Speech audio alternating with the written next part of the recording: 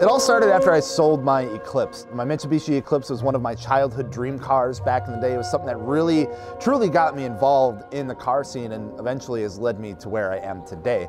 That car introduced me to a lot. I had a lot of firsts with that car, I guess you could say. The first time installing exhaust, first time doing electrical work, first time doing an engine swap of all things. And even though there was a lot of frustrations and moments where I was thinking, what the hell have I gotten myself into?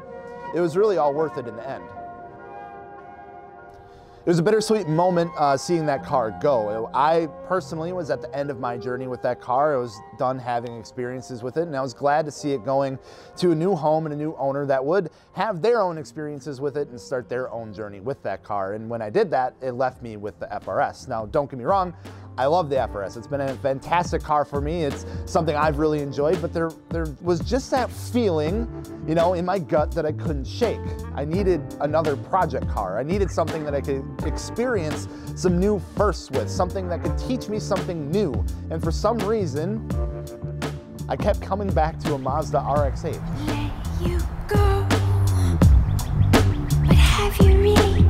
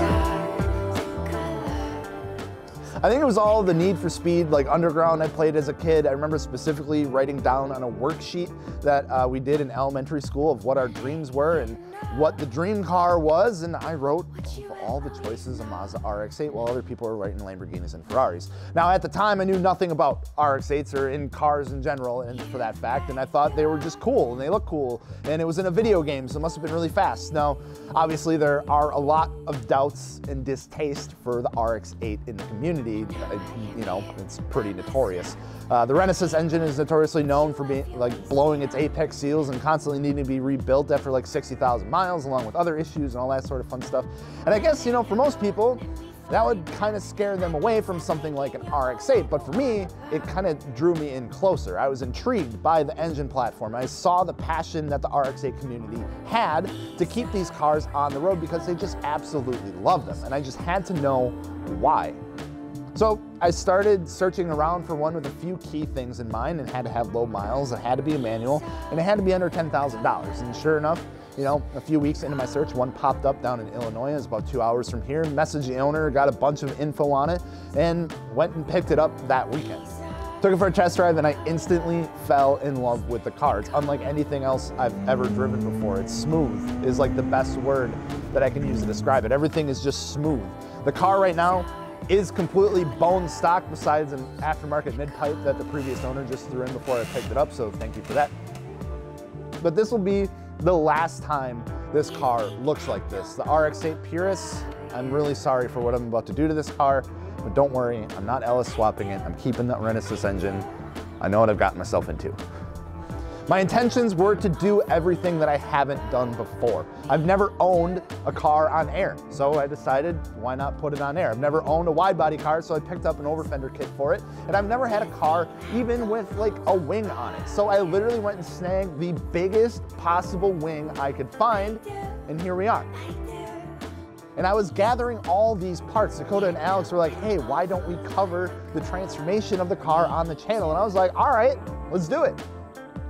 So it put some pressure on me to gather the rest of the parts I needed, and hopefully I have everything. I mean, I guess we'll find out in the near future here, but by judging by the pile of parts that's sitting back there, I would hope so. The plans for the car as of right now include putting the car on air suspension, like I said, with help from Airlift Performance and D2 Racing Suspension. I'm super fortunate to have both of these companies on board as part of the build.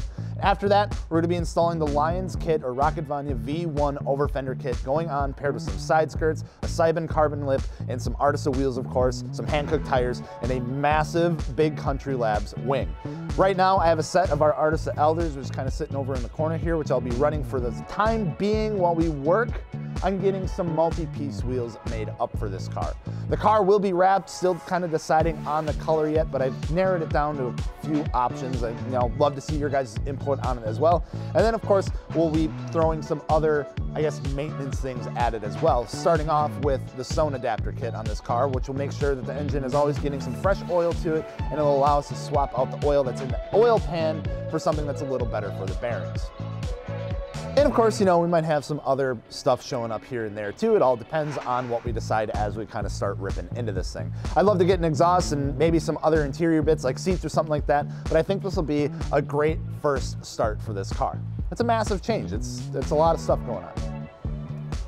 It's gonna be a huge learning curve and I hope like a good experience. However, you know, luckily I am surrounded by car enthusiasts every day that are willing and able to help out in one way or another and I can't be more grateful for that.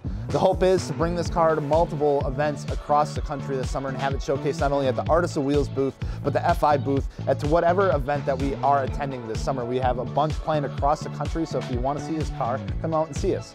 I'm beyond excited to start working on this thing and have been itching to dive into it since day one when I picked it up in November. It's been sitting in the garage just kind of collecting parts. And I hope you guys are just as excited to join us on this journey as we begin documenting this full build on the Fitment Industries channel. So we're gonna get to work on this car. We're gonna be uploading weekly here throughout April and May. So we really appreciate you guys if you just hop in, check it out, give us some insight. If there's any rotary guys out there that could provide some insight on how, you know, to maybe do stuff for this car to make it last a little bit longer, or if I'm just doing something completely wrong, just let me know. Seriously, I'm open to any constructive criticism, all right? we're gonna get diving into this car. Don't forget wheels, tires, suspension, fitmentindustries.com. And of course, don't forget to subscribe. I'm gonna go grab an angle grinder and start cutting some fenders. We'll see you guys. We're driving down